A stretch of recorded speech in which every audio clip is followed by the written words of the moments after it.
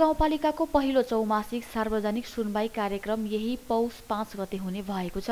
पहिलो चौमासिक सार्वजनिक सुनवाई कार्यक्रम गढुवा गाउँपालिकाको सभा हलमा हुने गाउँपालिकाका प्रमुख प्रशासकीय अधिकृत अमरराज शर्माले जानकारी दिनुभएको छ। शर्माका अनुसार सार्वजनिक सुनवाई कार्यक्रममा आर्थिक वर्ष दुई हजार अस्सी एकासीमा गाउँपालिकाले प्रदान गर्ने सेवा प्रवाह भइरहेका काम र गाउँपालिकासँग सम्बन्धित विविध विषयमा छलफल हुनेछ। गाउँपालिकाका निवर्तमान जनप्रतिनिधि प्रतिनिधि गाउँपालिका क्षेत्रभित्र क्रियाशील सम्पूर्ण राजनीतिक दल सरकारी तथा गैर सरकारी सङ्घ संस्था इलाका प्रहरी कार्यालय गढुवा क्याम्पस तथा विद्यालयमा कार्यरत शिक्षक तथा कर्मचारी ब्याङ्क तथा वित्तीय संस्था वन तथा वातावरण संरक्षण सामान्य समिति चुरे संरक्षण विकास समिति सामुदायिक वन बडका थप सिँचाइ आयोजना टोल विकास संस्था उपभोक्ता समितिका पदाधिकारी नागरिक समाज लगायत सम्पूर्णका प्रमुख तथा प्रतिनिधि समाजसेवी बुद्धिजीवी सञ्चारकर्मी कर्मी पत्रकार सेवाग्राही साथै गढुवावासीलाई उपस्थितिको लागि अनुरोध गरिएको छ। त्यस्तै सार्वजनिक सुनवाई कार्यक्रम बिहान एघार बजेबाट सुरु हुने गढुवा गाउँपालिकाले जारी गरेको सार्वजनिक सूचनामा उल्लेख गरिएको छ।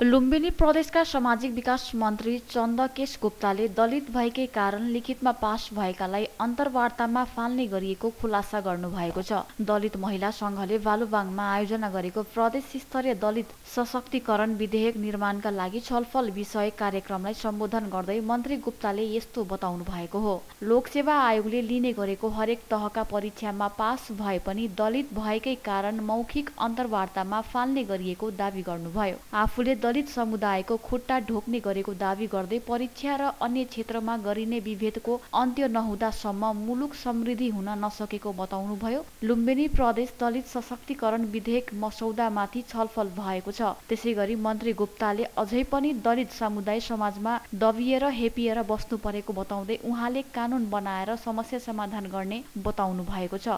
यो देशमा सबै नागरिकको समान अधिकार भएको बताउँदै उहाँले अब दलित समुदायमाथि अन्याय न्याय गर्नु गलत कुरा भएको बताउनुभयो। कार्यक्रममा संघका केन्द्रीय सचिव हेमा सुनारले प्रस्तुति गरेको विधेयक मस्यौदामा गरिएको व्यापक छलफलमा सहभागिताले आवश्यक सुझाव समेत दिएका थिए। साथै उनीहरूले दलित समुदायको हक र अधिकार सुनिश्चित गर्न प्रदेश सरकारले छिटै दलित कानुन बनाउनु पर्ने बताएका छन्। सो अवसरमा प्रदेश सांसदहरू अर्जुन केसी लोका विश्वकर्मा नेपाली काङ्ग्रेस ताङका सचिव बालिका लम्साल राष्ट्रिय दलित समाज कल्याण संघका केन्द्रीय उपाध्यक्ष जोगेन्द्र विश्वकर्मा तुलसीपुर उपमहानगरपालिकाका प्रवक्ता माधव ओली कार्यपालिका सदस्य लक्ष्मण विश्वकर्मा दलित अधिकारी कर्मी निर्मल नेपाली लगायतले आफ्नो धारणा राख्नु भएको थियो। दलित महिला संघ लुम्बिनी प्रदेश अध्यक्ष निर्मला सुनारको अध्यक्षतामा भएको कार्यक्रमको सहजीकरण दलित महिला संघ दाङका अध्यक्ष युवा करारले गर्नुभएको थियो।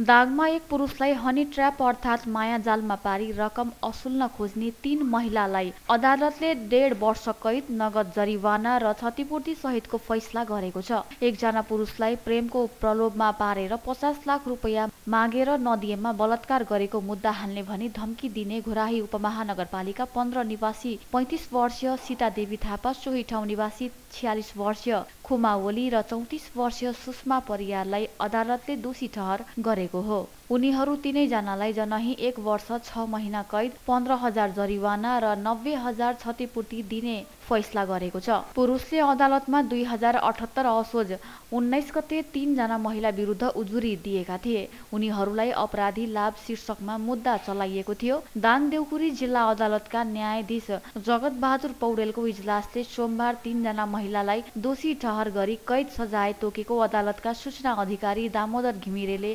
जानकारी दिनुभयो। सीतादेवी थापाले लगेको एक लाख समेत फिर्ता गर्नुपर्ने अदालतले फैसला गरेको सूचना घिमिरेले बताउनुभयो। फौजदारी अपराध संहिता दुई हजार चौहत्तरको दफा दुई सय त्रिपन्नको उपदफा एकको खण्ड ख अनुसार यस्तो कसुर गर्नेलाई तीन वर्ष कैद र तीस हजार जरिवाना हुने व्यवस्था छ।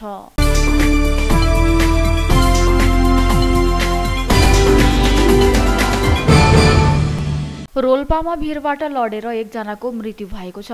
जिल्लाको सुनेल स्मृति गाउँपालिका वडा नम्बर सात तेवाङका छब्बिस वर्षीय सुषमा पुनको भिरमा खर लिन जाने क्रममा लडेर मृत्यु भएको जिल्ला प्रहरी कार्यालय रोल्पाले जानकारी दिएको छ। हिजो गोटीबाङ खोलाको भिरमा लडेर घाइते भएका पुनको प्राथमिक स्वास्थ्य केन्द्र सुली चौरमा उपचारका क्रममा मृत्यु भएको प्रहरीले जनाएको छ।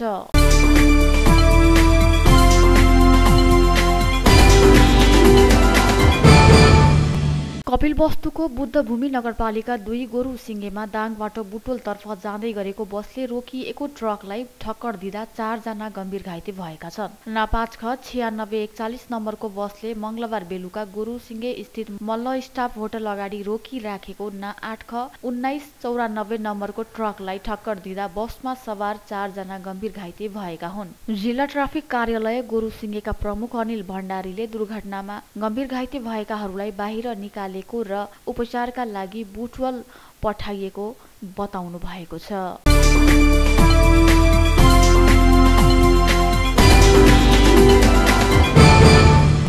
संसदीय सुनवाई समितिले सर्वोच्च अदालतको न्यायाधीशमा नियुक्तका लागि सिफारिस भएका छ जनाको नाम अनुमोदन गरेको छ। समितिको आज बसेको बैठकले उहाँहरूको नाम अनुमोदन गरेको हो। समितिका ज्येष्ठ सदस्य पशुपति शमशेर जबराको अध्यक्षतामा बसेको बैठकले सर्वोच्च अदालतको न्यायाधीश नियुक्तका लागि सिफारिस भएका सारङ्गा सुवेदी अब्दुल अजिज मुसलमान महेश शर्मा पौडेल टेक प्रसाद ढुङ्गाना सुनिल पोखरेल र बालकृष्ण ढकालको नाम अनुमोद गरिएको हो। यस विषयमा मङ्सिर उन्तिस तथा यही पुस एक र दुई गते संसदीय सुनवाई हुने भएको थियो। न्याय परिषदको मङ्सिर पाँच गते बसेको बैठकले सर्वोच्च अदालतका लागि रिक्त छ न्यायाधीशका लागि नाम सिफारिस गरेको थियो।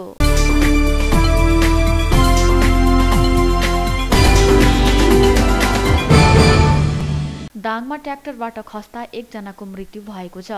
मृत्यु हुनेमा ट्र्याक्टरमा सवार रहेका गोराही अठार प्रगति टोलका कृष्ण घरती मगरको छोरी सत्र वर्षीय माया घरती मगर रहेको जिल्ला प्रहरी कार्यालय दाङका डिएसपी जनक बहादुर मल्लले जानकारी दिनुभयो। हिजो मङ्गलबार दिउँसो घोराही अठार रानीजरुवाबाट घोराहीतर्फ जाँदै गरेको रा त सोह्र पचपन्न नम्बरको खाली ट्र्याक्टरबाट खसेर घाइते भएका मायाको राप्ती स्वास्थ्य विज्ञान प्रतिष्ठान घोराईमा उपचारको क्रममा मृत्यु भएको हो।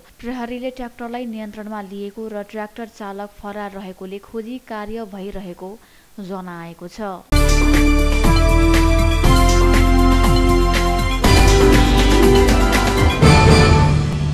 आउँदो माघ एघार गते हुने राष्ट्रिय सभा सदस्य चुनावका लागि निर्वाचन आयोगले मतदाता नामोली स्वीकृत गरेको छ। राष्ट्रिय सभा सदस्य चुनावमा प्रदेश सभा सदस्य र गाउँपालिकाका अध्यक्ष र उपाध्यक्ष तथा नगरपालिकाका मेयर र उपमेयर मतदाता हुने कानुनी व्यवस्था भए बमोजिम प्रदेश सभा सदस्य पाँच सय उन्चालिसजना र गाउँपालिकाका अध्यक्ष र उपाध्यक्ष तथा नगरपालिकाका मेयर र उपमेयर एक हजार चार सय अन्ठावन गरी दुई हजार सडचालिसजनाको मतदाता नामोली स्वीकृत भएको हो। स्वीकृत प्रदेश सभा सदस्यतर्फको कुल मतदाता पाँच सय पचास मध्ये निधन भएका प्रदेश सभा सदस्य एकजनाको नाम हटाई पाँच सय उन्चालिसजना कायम गरिएको छ। त्यसै गरी गाउँपालिकाका अध्यक्ष र उपाध्यक्ष तथा नगरपालिकाका मेयर र उपमेयरतर्फको कुल मतदाता एक हजार पाँच सय छ मध्ये निधन भएका गाउँपालिका अध्यक्ष एक उपाध्यक्ष एक नगरपालिका उपमेयर एक र निलम्बनमा परेका गाउँपालिकाका अध्यक्ष एक नगरपालिकाका मेयर चार गरी आठजनाको नाम हटाई एक हजार चार सय अन्ठानब्बे जनाको नामोली स्वीकृत भएको छ। स्वीकृत मतदाता नाम ओली आयोगले वेबसाइटमा समेत प्रकाशन गरिएको छ। निर्वाचन कार्यक्रम बमोजिम आउँदो पुस बिस गते निर्वाचन अधिकृतको कार्यालयमा स्वीकृत भएको मतदाता नामोली प्रकाशित हुनेछ र प्रकाशित मतदाता नामोलीमा कुनै मतदाताको नाम समावेश हुन छुटेको भए नाम समावेश गर्न नाम समावेश भएको व्यक्तिको नाम थर उमेर पद आदि विवरण सच्याउनु पर्ने भए सच्याउन र मतदाताको विरोधमा उजुरी दिनुपर्ने भए सम्बन्धित निर्वाचन अधिकृतको कार्यालयमा निवेदन दिन सकिनेछ भने पुस बाइस गते अन्तिम मतदाता नामोली प्रकाशन हुनेछ। उल्लिखित मतदाता मध्य प्रदेश सभाका सदस्यहरूको मतभार त्रिपन्न र गाउँपालिकाका अध्यक्ष र उपाध्यक्ष तथा नगरपालिकाका मेयर र उपमेयरको मतभार उन्नाइस रहेकोले आउँदो माघ एघार गते हुने राष्ट्रिय सभा सदस्य चुनावका लागि प्रदेश सभा सदस्यको कुल मतभार उन्तिस हजार सन्तानब्बे र गाउँपालिकाका अध्यक्ष र उपाध्यक्ष तथा नगरपालिकाका मेयर र उपमेयरको कुल मतभार अठाइस हजार चार सय बासठी गरी जम्मा सन्तावन हजार पाँच सय उन्साठी मतभार रहेको छ।